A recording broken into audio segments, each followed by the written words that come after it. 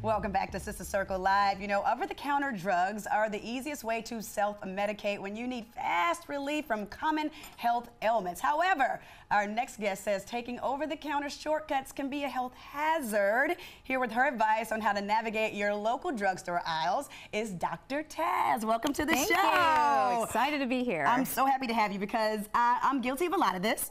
Uh, let's first talk about the difference between active versus inactive ingredients. Absolutely. You know, a lot of people don't realize that there are over 300,000 over-the-counter medications. You can walk in your drugstore and pick any one at any given moment, right. but only 10% of those drugs have active ingredients. The other 90%, it's fillers. It's things like parabens that affect our hormones, phthalates that affect our kidneys or our lung, dyes with our kids, it's yeah. affecting their behavior. So you've got so many different additives in these things that can affect our overall health. And the worst is 300,000 medications, we layer them on, so we up our toxic load. Oh, well, why would they do? Why would they do that? Is it about money? Is it about well, killing the people? I mean, what are they doing? What are I, don't, doing I don't think anyone intentionally sets out for that, but right. to keep these medications stable historically through time chemicals were okay. Yeah. We didn't have the history to understand that these chemicals are really affecting our health, and I see this every day in my practice. Okay, all right. So now you say there are three common over-the-counter meds people tend to make mistakes with.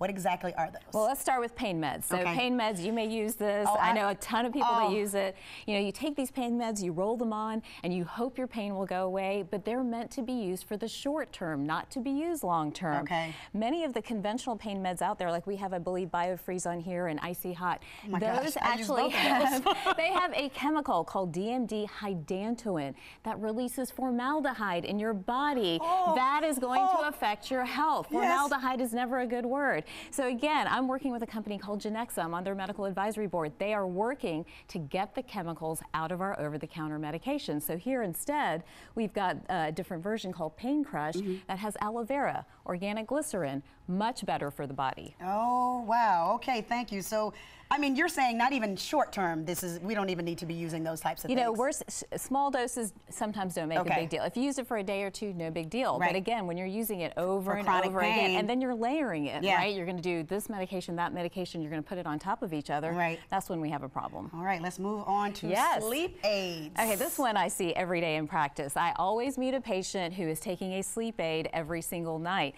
Most sleep aids have an active ingredient called diphenhydramine. Diphenhydramine is dangerous if you have heart conditions, if you have glaucoma, if you have any kind of lung issues. It can be very hard on the body. So these over-the-counter sleep aids were actually meant to be used a day, two days, maybe three days at the max. But I have so many patients that tell me, oh, Dr. Taz, every night I take, you know, my mm. 25 milligrams of my sleep aid and I've been doing it for years. Yeah. That's not the intention behind these over-the-counter medications. They should not be used that way. So for people who are having problems sleeping, what would you say to them? Not Obviously, you don't want them to use these products.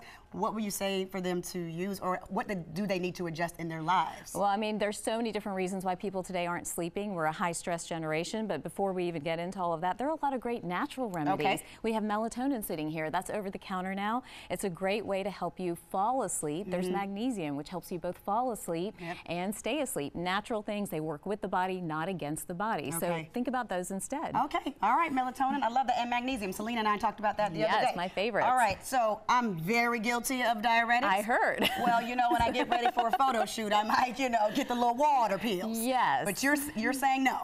I'm saying no, and I'm so sorry. It's but okay. that is how a lot of people are using these diuretics that are over the counter. Again, that was not the intention. The intention was to lose water, but for people who needed to lose water for other reasons, for medical conditions. Right. So again, you have to be super careful with this. This is a big one. You should not be using it for weight loss.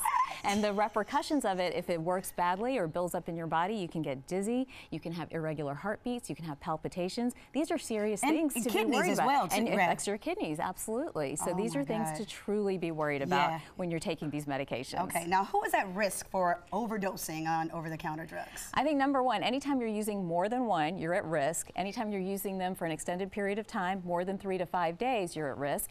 And if you're using over-the-counter medications in place of seeing your doctor, you're going to be at risk. Okay, okay, because I just did this with my my daughter, she was coming down with a cold and gave her a little medicine and things seemed to be okay. But it, do, would you say that's okay in small doses or? You know, it's okay for a short 24 to 48 hours. Okay, that's- and that's was very it. common, by the way. Seven out of 10 parents will do that. They'll Yeah. use over-the-counter medications before they consult with their doctor. Absolutely. 24 to 48 hours, you can get away with it. Anything more than that, you need to talk to your doctor. All right, tell us about your new book. Yes, Superwoman well, RX. my Yeah. book is Superwoman RX. It came out last September, but it's all about women's empowerment and how there is a chemistry to empowerment. And if we understand who we are, there are five key types. If you understand who you are, you have a formula for living your best life, Huh. having your best emotional health, energetic health, your best weight, and you kind of sift through all the information out there in terms of what's the diet for me, what are the supplements for me, what's Right. the exercise routine for me. So I just really wanted it to be a how-to book for women so they knew, like you just said, we birthed this nation. Yes. We are in charge, we are powerhouses, but when we go down, everybody else goes down around us, right? So this was in hopes that it would help women everywhere. What's the response been like before we let It's you go? It's been amazing. Yes. People have loved it. They've gravitated towards it.